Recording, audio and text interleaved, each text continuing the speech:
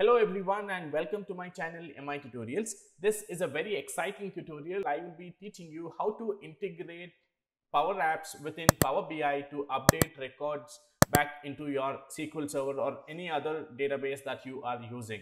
Let me give you a quick demo of what I'm talking about. Let's say I have a table over here. I have the support tickets wherein the end users are working on those support tickets and let's say I have a high priority ticket over here. I can simply click on this particular ticket number, which is 220. The form that I have over here gets filtered to that particular ticket, which is 220. And then I can type in action that I have taken for that particular ticket. For example, I sent an email to the vendor and then I can choose the action status over here. Let's say this is work in progress and then I can add in any comment if I want. I'll just say test comment for now and then um, I can click on submit. So the moment I click on submit, this particular data gets updated back into our SQL server and then the same columns over here are pulled in into this particular table which gives you a live view of what you have updated in your database and I also have the username who updated this particular record. Now since this is a live connection and any other users or your manager using this particular dashboard, he will be able to see this live and track what is happening on this particular ticket. So this is what I will be teaching you today. Please note that this is going to be a very extensive tutorial. You will have to follow each and every step that I show you in this particular tutorial. If you do not follow, then you might miss out on certain things and you might not be able to create this app. So let's get started with this tutorial.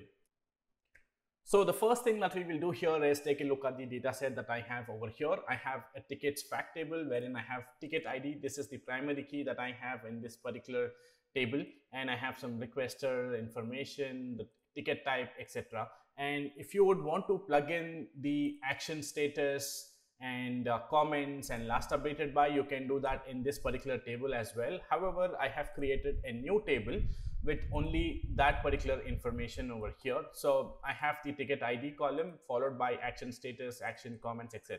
Right now we will import this into SQL Server so let's start by importing the tables into our SQL Server. So one thing that you need to note here is that the ticket status table that I have over here, you need to have the primary key defined explicitly. So ticket ID in this case is going to be my primary key. So I'm going to come over here and then I'm going to say, I'm going to remove the not null because primary key does not contain null values. So, and then I'm going to say primary key click on OK and then I'm going to click on OK and then import these tables into my database.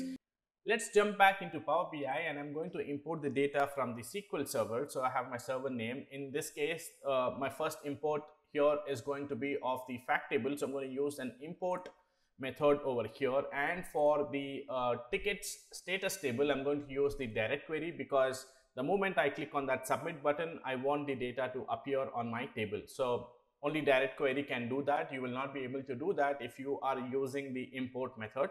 So I'm going to use the uh, ticket fact table over here and click on load. So I have my uh, tickets fact table uh, loaded now and then I'm going to go back into my SQL server and this time I'm going to use direct query then I'm going to click on OK and I'm going to choose the ticket status table over here and click on load. Now I have the ticket status table loaded as direct query table and now I'm going to come over here and create a relationship between this ticket ID and this particular ticket ID column over here.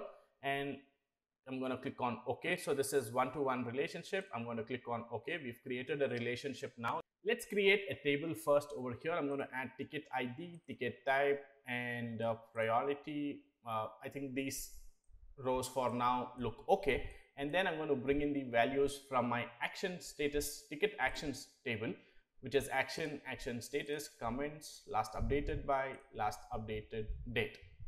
So I'm going to go over here to the drop down and choose Power Apps for Power BI as the visual and I'm going to add the ticket ID from the ticket status table here and just wait for a second and then it will ask you whether you want to choose an app or create new. In this case, we have not created an app.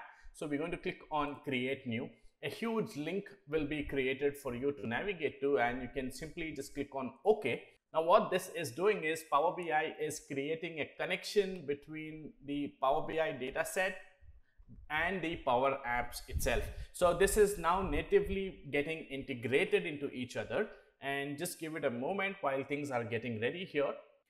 You will get a pop-up like this. I'm going to just click on skip over here and now you will start seeing all of the IDs that we have present in our data set. So what we will now do is I'm going to come back to my new screen over here, head over to templates and click on form.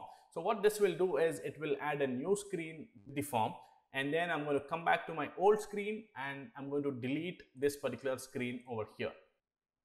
And then you will see little icons over here. We don't really need them. So I'm going to come over here and click on delete. I'm going to delete the second icon as well and also the app name that we have over here. So now we have a clean form which is created for us. And what we will now do is we will need to connect to data. In this case, I'm going to click on connect data and then click on add data over here. I'm going to type in SQL and create a connection with the SQL server. I already have a connection created over here. So I'm going to just come. Otherwise, it'll ask you to enter the details of the server, password, how do you want to log in, etc. Also, please note that you will need to have an on-prem data gateway to be able to use this. So if you don't have one, you can install uh, the uh, on-prem data gateway onto your machine and if you're not able to do that, please let me know in the comment section. I'll be happy to make another tutorial on that. And in this case, I'm going to choose the ticket status table that we want to connect with.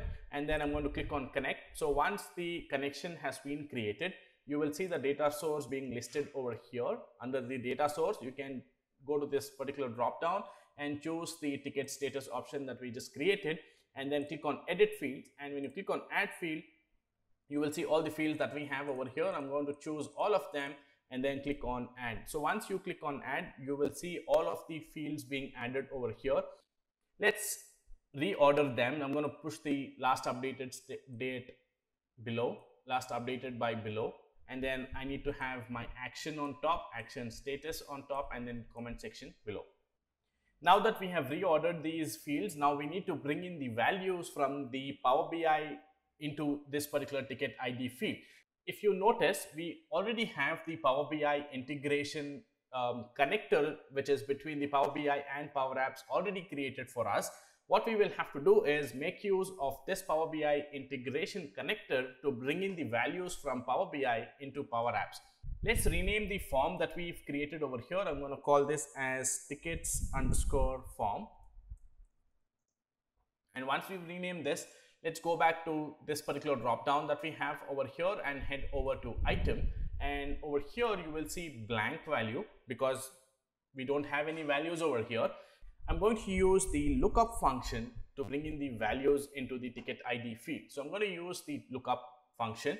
The source here is going to be my ticket status table comma and i need to look up the ticket id I'm going to choose the ticket ID column over here is equals to and then I'm going to say first of Power BI integration dot data. I'm going to close the bracket here and then say dot ticket ID. You need to make sure that you're exactly entering these values over here otherwise this is not going to work and then the end I'm going to close the bracket here to close the lookup parenthesis and then I'm going to click on OK. So once this is confirmed, it will take a moment and then you will see that the ticket ID has started to appear in our form. So what we can now do is let us save this app and publish this. Let's call this as tickets app and click on save you need to save the app and you also need to publish the app. If you do not publish the app by clicking on this particular icon over here, the changes will not appear for the rest of the users. Now that the app has been published, let's head back to Power BI. Now I'm here in Power BI and it is just the app is getting refreshed and you will see that once this is done or if you're if this app is not getting refreshed, what you need to do is just add a new page or if you already have a new page, you can just navigate to a different page and come back to this particular page and the app will get loaded over here and you will see that it is getting the data and now if I click on any of my ticket ID example if I click on 11th ticket ID you will see that the ticket ID is getting filtered and displaying ticket ID as 11 in this case. And then I can update the status or action comments etc over here. So some more stuff to do. So let's head back to Power Apps. Now that we have the ticket ID appearing over here, we need to add a submit button so that the data gets submitted. So let's go back to our insert tab and click on button over here. A new button gets added. I'm going to place this over here and then let's rename this to submit. And then I'm also going to the insert tab. I'm going to add a text label over here. I'm going to call this as tickets, ticket status update. You can name this whatever you want to and just reformat this make this white so that it is clearly visible and then you can make this bold. Increase the font size if you would like to. I'm to make this as 25 for now. I'm just going to leave it at that. Now that we've created so i need to tell power apps what needs to happen when i click on submit button. Now let's click on this button over here and let's head over to the drop down and you will see that on select is already selected. This is where we need to go. We need to select on select. Right now it's false. I'm going to remove that and say submit form and tickets form is what I need to submit. I'm going to close the bracket here and press enter. And now you will see that we've already assigned a task to this particular button. Now that we have assigned an action to this particular submit button, it also needs to let us know that the submission has happened. So to do that, I'm going to click on the tickets form over here and then I'm going to, from this drop down, I'm going to choose on success and right now it's set at false. Here I'm going to get rid of the false. Instead, I'm going to type in Power BI integration dot refresh and it needs to refresh the visuals and then I'm going to enter colon over here. When you enter colon over here, it means that on success, there are multiple things that need to happen. One is it needs to refresh the Power BI integration visuals. And the second thing is it needs to notify the users that the submission has happened. In this case, we're going to use the notify function and it's asking us to enter the text. So I'm going to say successfully submitted, close the quotes over here and then followed by a comma and then it's asking us what is the notification type that you want? Whether you want an error notification or information or success. So in this case we will choose success over here followed by a comma. And then there's a timeout. How many milliseconds do you want that particular display notification to appear? So let's choose 3000 in this case. 3000 milliseconds is what we want the success message to appear and then get disappeared. Let's save this app and also publish this and let's test this back in our Power BI report. So let me publish this as well. I'm going to publish this. Now that it is published, let's head back to Power BI and now we need to refresh the page over here or just navigate to a different page and come back to this page and you will see that this app is now getting refreshed and you will already notice that the submit button there's ticket status update label that we added and let me click on 25th ticket id over here. You will see that it's getting selected as 25th action. Let me just type in test action. Action status. I'm gonna say open comments test comment right? Last updated by and last updated date is something that i want Power Apps to pick up automatically. So I'm going to leave that blank and I'll head back to Power Apps again to show you how to do that. And now I'm going to click on submit. You will see that it is now getting submitted. It says successfully submitted. It appears for 3000 milliseconds and then the success message gets disappeared. Now, the reason why you're not seeing the value over here is because uh, you will have to publish the report to Power BI service to be able to see that data live. So to do that, let's quickly publish this particular report. And now we are here in Power BI service and you will see that the record that we updated 25th is already appearing over here. Let's choose another value, let's say 55 in this case. And let's type in action over here. I'm gonna just type in 55th ID, action status. Let me make this as work in progress. I'm gonna say test comment and then click on submit. So the moment you hit submit, it, it is only going to take a couple of seconds to submit the record and also bring back the values over here. So as you can see here, you, we have the live connection with the database and it has already pulled in the values from the SQL server. So now it's time for us to add the last updated by and last updated date automatically to this particular Power App. So let's go back to Power Apps and what we now need to do is select this particular section over here or uh, there are two things. One is the entire section and the other thing is just this particular section over here. We're going to choose the just the rectangle that we have over here where the data gets entered and then I'm going to go to the advanced tab. I'm going to unlock the properties over here and then I'm going to say parent dot default. Instead of parent dot default this is going to be user I'm going to close the parenthesis over here. Then I'm going to type in dot over here. And then there are three options that are available. There's email there's full name there's image. In this case I'm going to choose full name. And Power, Power App will now automatically bring in the full name from my Active Directory. So that I have the name populated automatically in this particular form, I don't really need to show this particular field in the form. So to hide this or to make this invisible, what I need to do is I'm going to select the entire field over here and just scroll down and then you have an option whether it is visible true or not and then here I'm going to choose false and this particular field will get disappeared. Likewise, I'm going to come here to last updated date. I'm going to select the rectangle within the last updated date and come here to the advanced properties. I'm going to unlock the properties over here, come back to default under data tab. I'm going to get rid of this and just say now open and close parenthesis and you will have the date and time populated automatically.